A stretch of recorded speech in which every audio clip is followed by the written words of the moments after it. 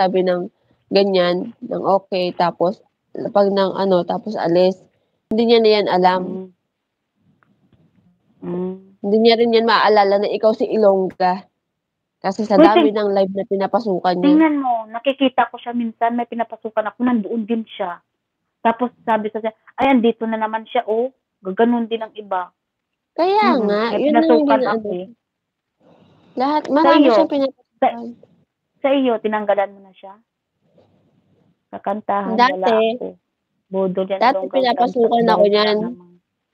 Oo nga, hindi, Pero nagta- hindi- na nagtamsak. Hindi ko yan siya bina, hindi ko yan siya, pinuntahan ko siya kasi syempre, na na-curious ako, ang laki ng bahay niya. Tapos one time, tinambayan ko siya. Hindi ako nagtagal kasi nga parang kaangat lang din siya. Oo. Hindi ko din din niya Totoo yan, mapapansin. So, Nancy. umalis na lang ako. Kahit saan live Budol yan, pinupuntahan niya, binibisita niya talaga, no? Kahit saan, magla-live lang, bumababa lang siya. Ang laki-laki Oo. na ng bahay niya. Yun Laki-laki nga lang na ng bahay yung mga, yung mga hindi nakakakilala sa kanya, didikit. Eh ako hanggang ngayon, nakadikit pa naman din ako sa kanya eh. Hindi ko naman na tinatanggal. Nakad- ako nakadikit na yata din sa kanya eh. Nakadikit din ako. Naman eh. Pero, hayaan mo na. Huwag na lang Nakita ko yan kasi, kasi si Cubs ko yan siya nakita. Eh, parang nadikitan ko rin siya. Akin, kaya lagi ko, kaya kilala ko yan. Lagi rin yun sa akin before. Ngayon, hindi na siya nagpapakita. siya.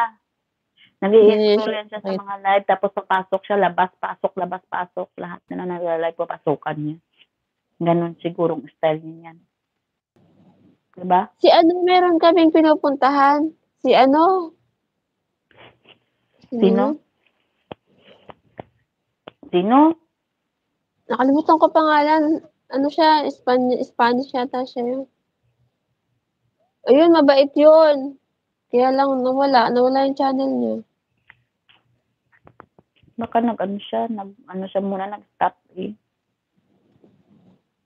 Di ba kuman ano, di ba kumanta na ako noong una? Saan? Hindi kita nakita kay Boots. Hindi kita nakita kay Boots.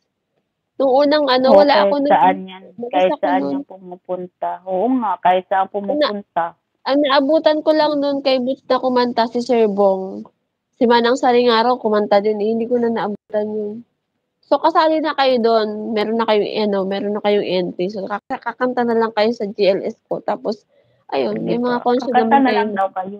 Wala. Ilan na sila kaya? Marami na? Nakay, nakibutching ba yung ibang listahan mo sa akin? Ano na, final na yan sa 22? Yung live mo? 29. Tingnan ko pa, Ah, ano, anong pa sabihin, 29. 22 nakita ko ah. 22, March 22. Baka hindi yun. Hindi pa ako gumagawa ng, hindi pa ako nakakagawa ng thumbnail. Bakit may March 22 nakita? O, saan ba? Sa iyo aka, sa iyo channel. Aba? 20, Wala. March 22. Hmm. 29 yun, nakalagay. Sa thumbnail ba? Ay, wala man ako nilagay. Eh bakit? Baka ini, pinalitan mo na siguro ng thumbnail. Basta nakita ko March 22 eh. Nakasabi pa nga si Ate Adele, March 22 ah. 29 yun, eh, 22. Anong araw? Hindi Anong pa araw? yun. Ano 29? yun eh. Ah, Basta magawa ako ng Linggo. thumbnail para sa GLS. Mga one week before ang GLS magpatam magpatamsak. Linggo. Timing mo ng linggo para may pasok. Para Oo, walang linggo, gulo. linggo. Linggo talaga, papasok kasi. ano. Parang walang gulo.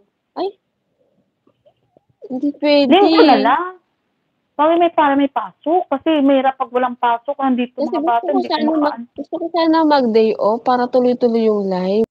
Pag may pasok, ganyan 3 hours lang ako yan. Hindi pag part 2 mo, pwede naman may part 2. Yung ba mag-live may part 2 naman ah. Meron naman Aba. part 2. Ramadan yun. Ramadan. Bok, ano, yun na nga rin ang problema. Ramadan. Kayo. 23 ang start.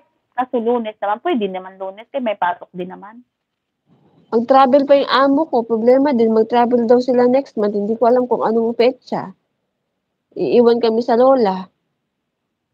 Ayun lang. Hanap ka talaga ng Pag schedule. Ramadan book, Makancel hindi ka na pwede sa makancel. umaga. Nakakawalang gana kasi pag nata, yung ano yung birthday ko, nawalan na rin ako ng gana kasi na- na-cancel yung yung ano, yung Dapat sa birthday mo, timing mo sana sa birthday mo eh. Timing sana Eh, sa birthday mo Eh eh. wala, malis na yung ano ko. Kaya nga yung yung pa-premyo ko, pinaano ko na lang dun sa prem, sa premiere ko.